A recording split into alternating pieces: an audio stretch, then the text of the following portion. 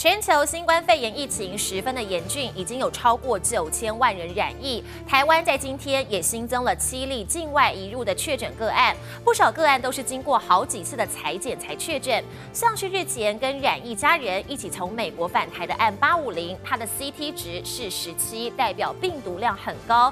不过他加上在国外的裁剪，一共验了四次才确诊。有专家认为，针对确诊者的接触者，最好要验两次会比较保险。另外，还有一名从南非返国的个案，也是入境快一个月才发现自己已经染疫。另外，针对桃园医院发生院内感染，扩大裁剪的结果，最快在今天晚上会出炉，预计将在明天的记者会上公布。我国在十六号的时候呢，一口气新增了七名的境外移入个案，其中比较特别的呢是持有登机十三天阴性证明的案八五零，他是验了四次才验出阳性确诊。这个月三号，案八五零和案八一七两人一起从美国飞回台湾，因为身体都不太舒服，先在机场进行裁剪。案八一七在这回的检验中确诊，而案八五零当时则是呈现阴性，被列为居家隔离，两天后再验一样是阴性，最后却在隔离期间出现咳嗽、味觉异常，这才被。被验出阳性，CT 值十七，代表病毒量很高，而且前后验了四次才确诊。当地呃就已经感染了，都没有塞到啊，因为他七号七号之后才发病。在初级检验的时候，他还在潜伏期，有可能不接触的基础下会到病毒传染给他的接触的人。确诊者的接触者最好呃至少做两次核酸检验。另一名长期在南非工作的本国籍男子，去年底返国，原本检疫期间都好端端的，没有任何症状，直到自主健康。管理时，因为腹泻时不时跑厕所，让他决定到医院自费裁剪，这才发现自己已经染疫。从入境到确诊，长达将近一个月。他的血清抗体检查 IgG 阳性，而 IgM 则是阳性或阴性，推测已经染疫一段时间，至少发病四五个星期，腹泻症状。这应该是一个其他的事件。同样是入境持有阴性报告，按八十八印尼籍渔工检疫期满后，中介安排做第二次自费裁剪，这才验出确诊。随着全球新冠肺炎疫情持续升温，我国一天内就有来自四大洲五个国家的移入个案，指挥中心持续紧守边境，不敢掉以轻心。就听反报道。轿车逆向上桥，开在机车道，冲撞了八辆机车。新北市汐止区一辆小客车中午逆向开上了北山大桥机车道，一口气就冲撞了八台机车，波及到十一个人，其中两个人受伤，紧急送医救治。由于肇事车辆卡在机车道，也影响了汐止往台北的车辆通行，警方立刻到场处理。初步了解，肇事驾驶是因为不熟路况才会逆向两货。机车横躺马路，卡在小客车底，几乎被压烂，还有零件也散落一地。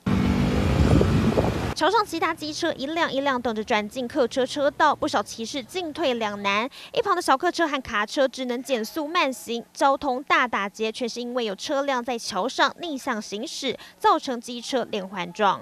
他是他是逆向从那边过来，因为前面有三台机车，你给他挡，已经给他挡住了，他他他要停起来。他看一下，他要马上要冲过来，他就撞到我后面那台车，对，然后我后面那台车就撞到我。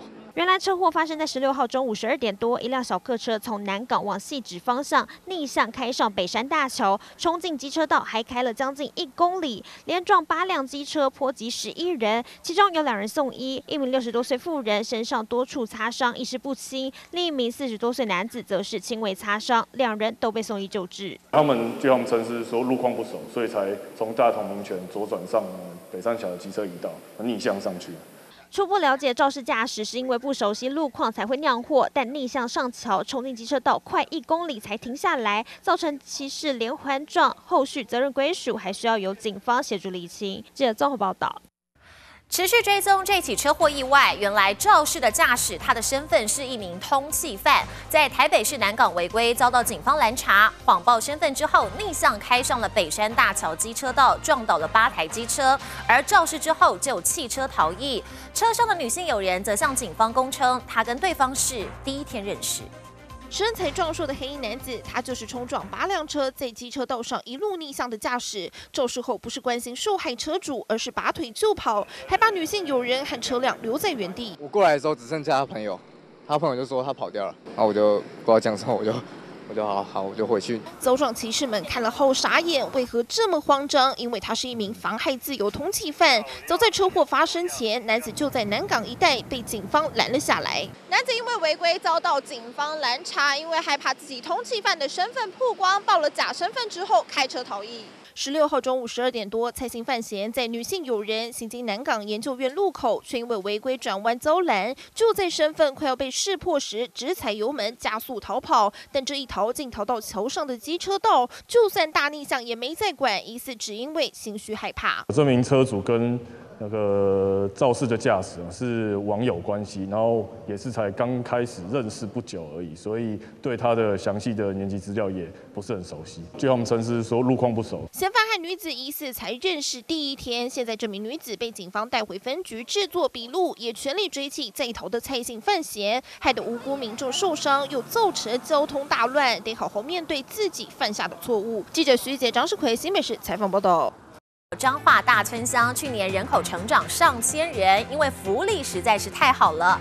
彰化大村乡代会去年九月通过了振兴礼金发放自治条例，十六号、十七号发放春节关怀礼金，一个人两千元，共计有三万多人受惠，预计将发出七千六百多万元的现金。民众一早就前往乡公所排队领到红包，也直说超幸福。而大村乡除了有生育补助六千元，还有重阳礼金跟弱势奖。助学金最高也有六千元。